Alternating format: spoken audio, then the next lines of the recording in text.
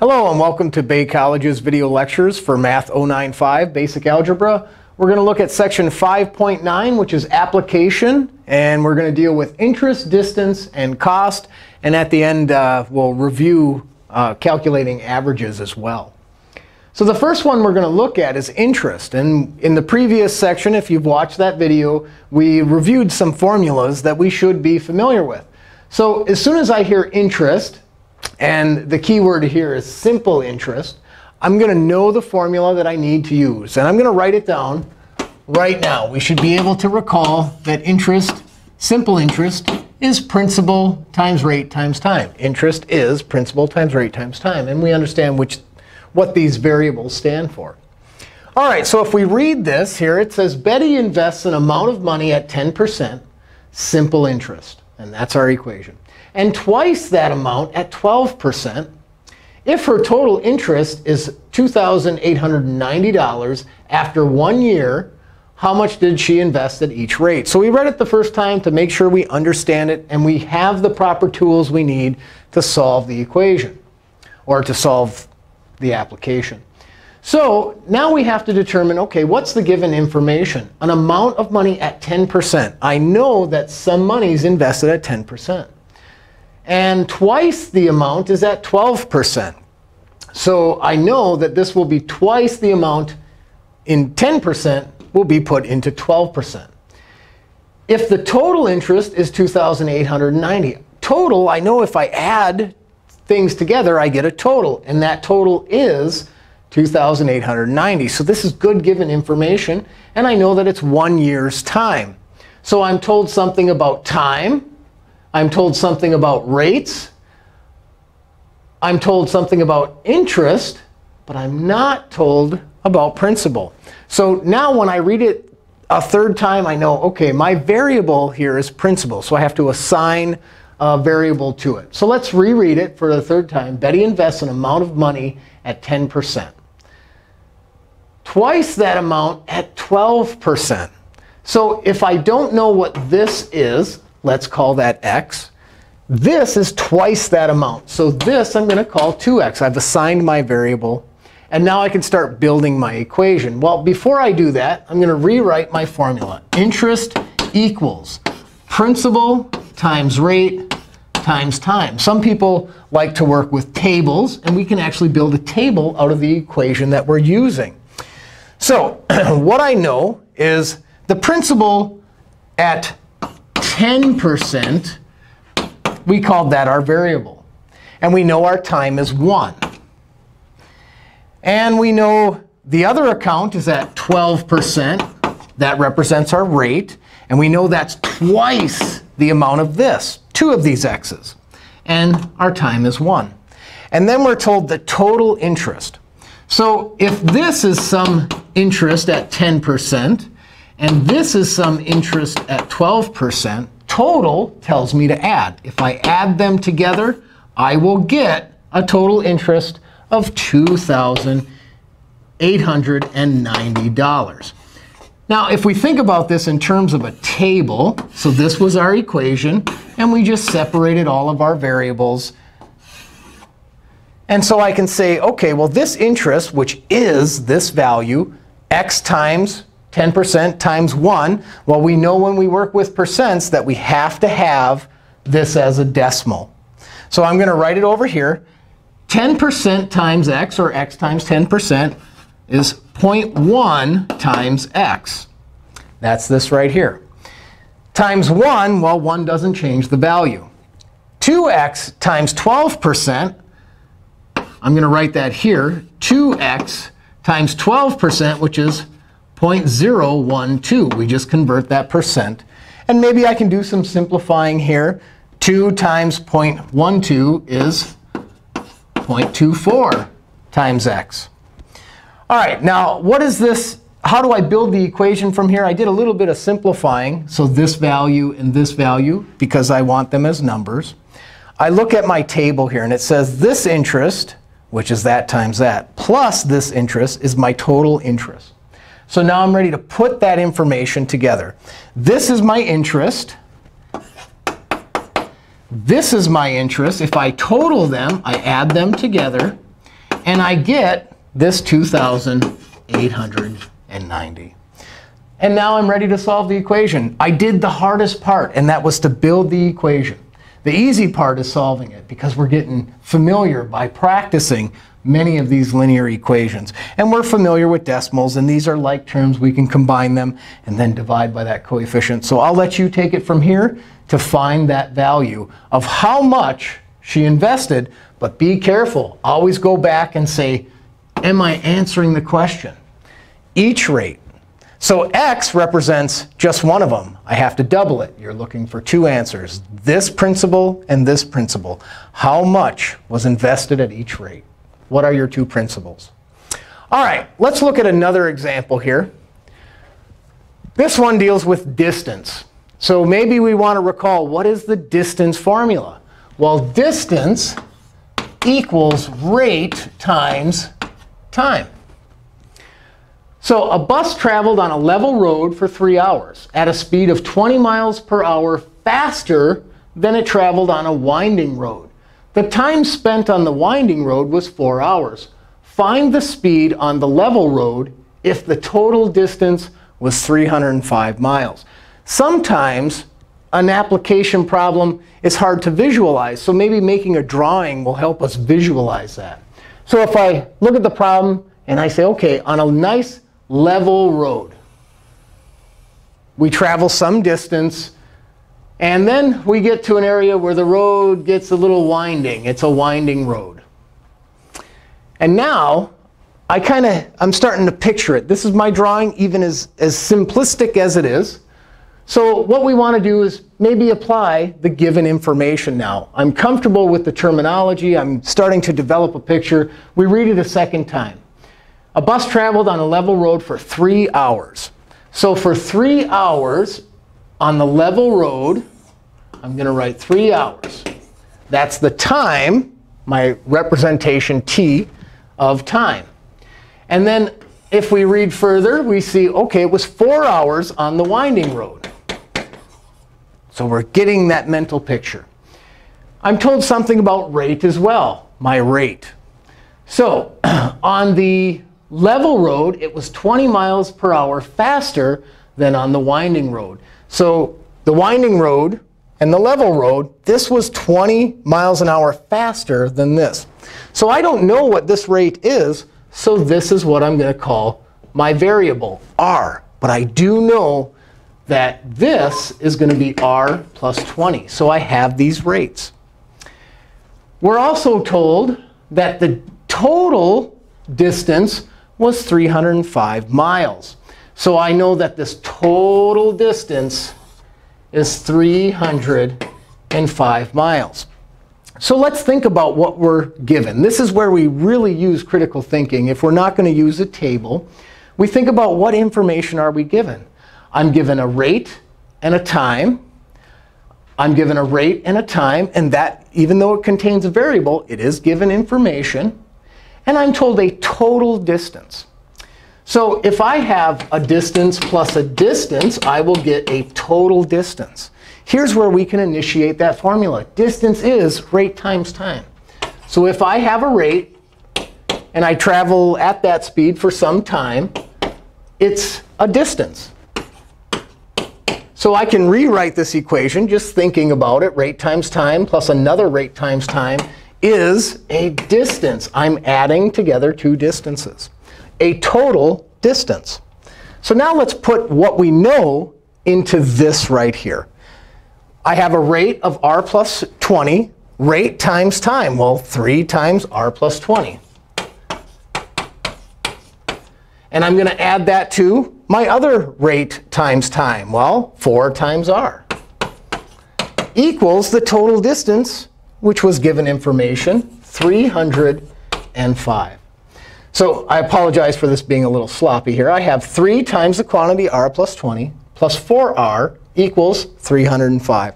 I built my equation. That was the hard part. And it took a lot of brain power and association and visualization and really thinking about what we're actually putting together. And now I can go ahead and solve this. So I can eliminate parentheses with the distributive property. I can combine like terms. 3 r's and 4 r's is 7 r's. I can now subtract 60 from both sides. And if I do that, 7r equals, this will be 245. And now I can divide both sides by 7, undo that math. So let's see, this 7, go, well, let's actually show it. 7 goes into 24 three times with a remainder of 3. And 7 goes into 35 five times.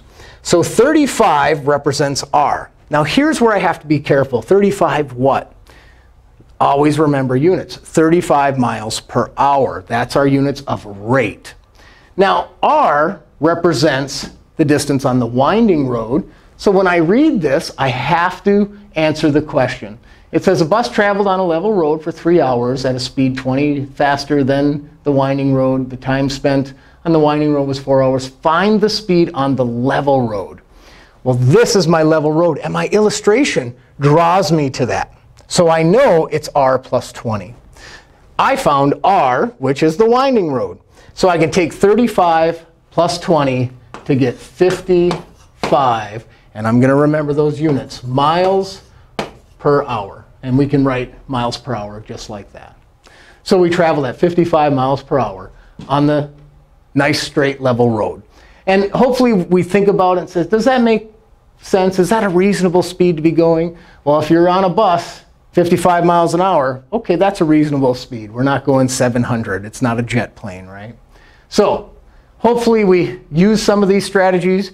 You could use a table. You could use an illustration. Whatever you're comfortable with, you have to determine that yourself and then use that method. All right, let's look at money. Now, money is something that most people are familiar with. Um, we're going to look at US currency, of course. Uh, nickels, well, we know what a nickel is. And if we were doing the relationship between nickels and cents, well, uh, one nickel is the same as 5 cents. So we know their value. One nickel is 5 cents. So we can do conversions like that. So if we think, well, if this is 5 and that's uh, 1 penny for I'd need 5 of them to equal 1 nickel, we understand that relationship. But what if I had uh, x minus 1 nickels? How many cents would that be? Well, if I wanted to know that, we have to know the value the value times the quantity. I'm telling you the quantity. I have x minus 1 nickels. And I know its value is 5 cents. So what I can do is say, well, the value under the cents would be 5 times that quantity. So that's how many cents I would have because the value times the quantity is the total amount. So we have a little formula we can use when it comes to money. If we know the value of the money, the denomination, times the number that we have, the quantity, we will know its total value. So we can say V times Q equals T. Let's look at an application. Let's say a teller at a bank is counting 20s and 50s, or $20 and $50 bills. There are six times more 20s than 50s. The total amount is 3,910. How many of each type of bill does the teller count? Well, let's think of this in terms of value and quantity. So I have a value for each bill, $20. I have a value for each bill, $50. How many of each do I have? Well, I'm told this statement here, there are six times more 20s than 50s. Well, I don't know the number of 50s, but I know a relationship. There are six times more 20s than there are 50s. And then we're told the total amount is 3,910. Well, total means I'd have to add these together.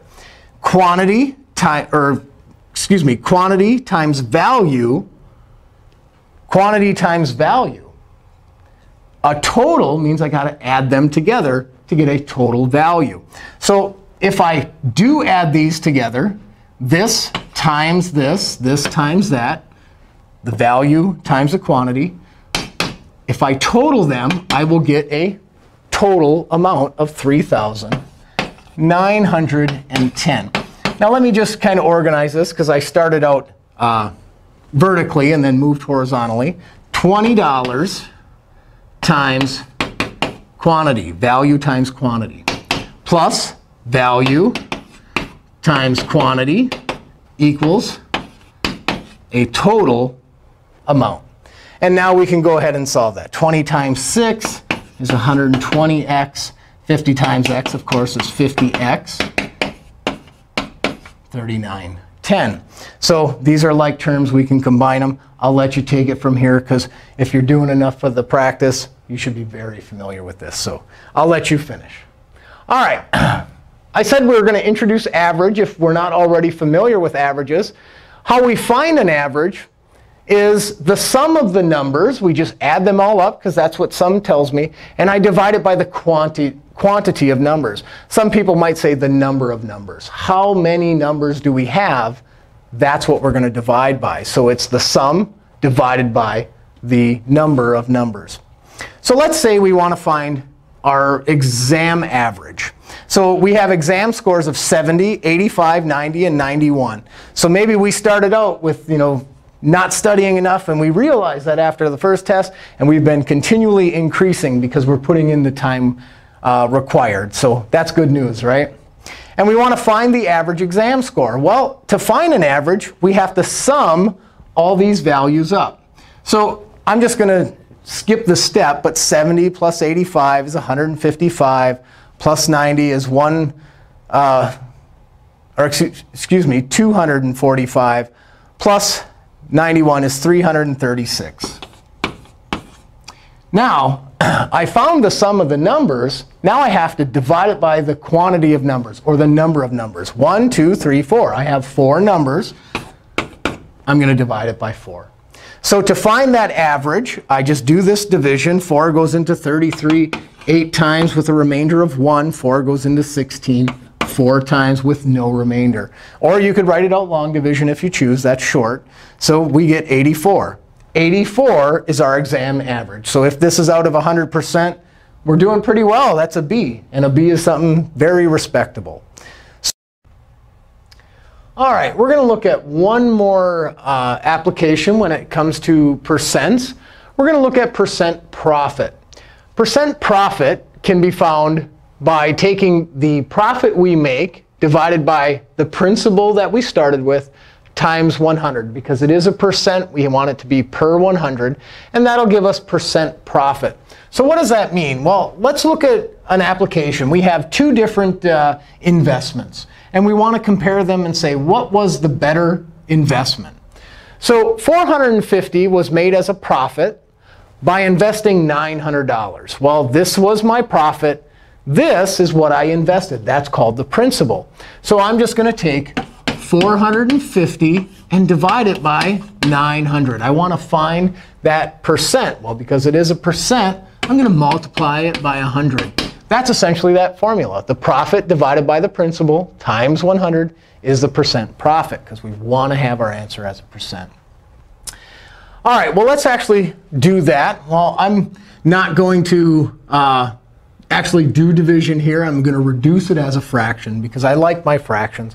So I can reduce this uh, by a factor of 10, 10 on top, 10 on the bottom. I can divide them both out.